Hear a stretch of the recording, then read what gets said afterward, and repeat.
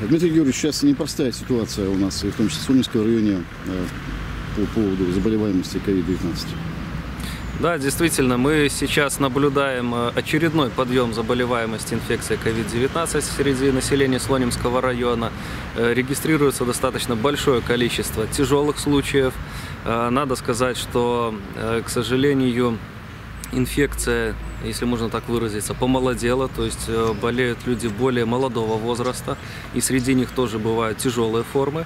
Поэтому всем э, нашим жителям, всем слонимчанам и гостям Слонимщины необходимо продолжать соблюдать э, все доступные меры профилактики. Прежде всего, я рекомендую всем вакцинироваться, кто это еще не сделал.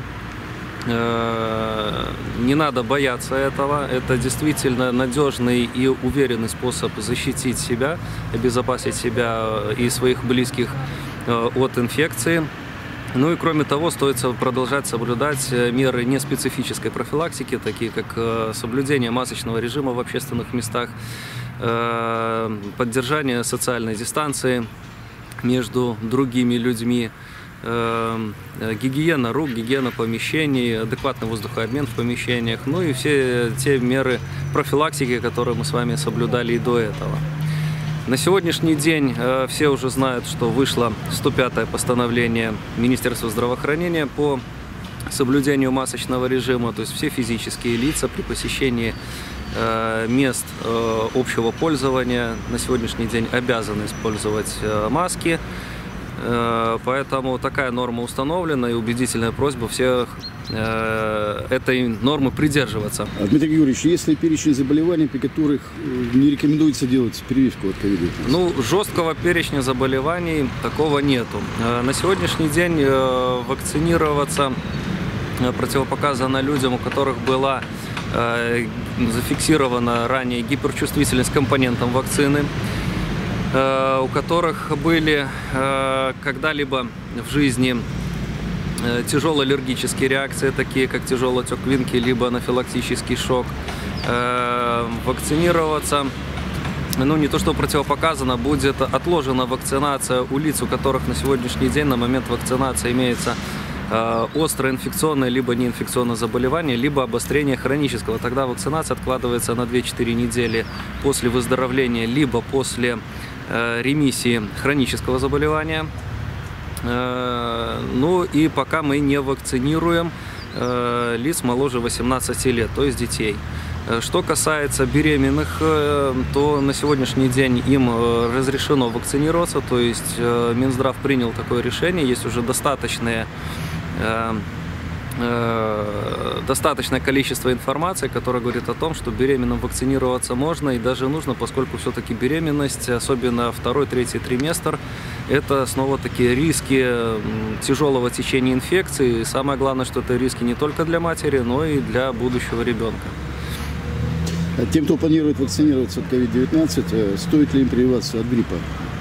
Э, Значит, те, которые планируют э, вакцинироваться от гриппа и, э, и планируют вакцинироваться от инфекции COVID-19, значит, порядок такой, что сначала необходимо сделать вакцину от э, COVID-19, поскольку у нас сейчас идет эпидемия, это прежде всего надо бороться с эпидемией.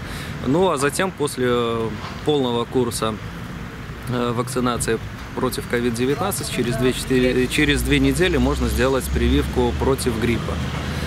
Э, Теоретически можно привиться и сразу и против COVID-19, и э, против гриппа. Единственное только, что тогда необходимо давать информированное согласие пациента. То есть э, пациенту будет разъяснены медицинским работникам все возможные последствия, которые могут быть, и он дает свое письменное согласие.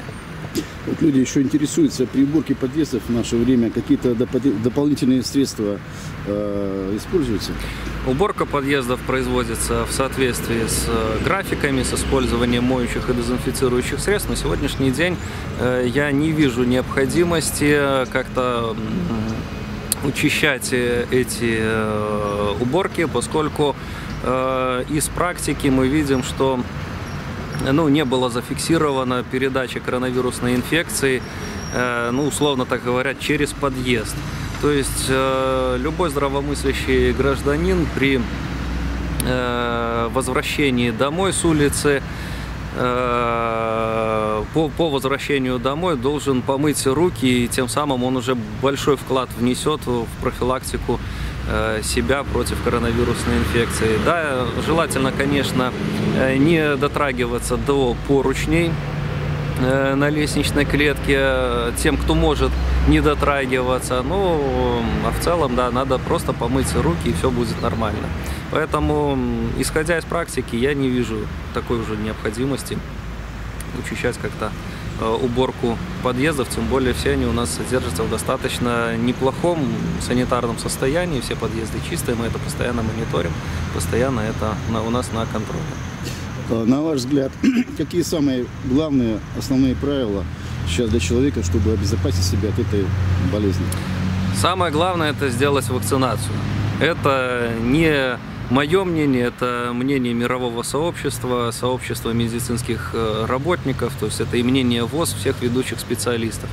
Поскольку вакцинация является единственной эффективной и надежной защитой. Ну и соблюдать остальные меры профилактики, о которых мы уже сегодня поговорили, то есть это и масочный режим, социальная дистанция, гигиена рук, гигиена помещения, адекватный воздухообмен.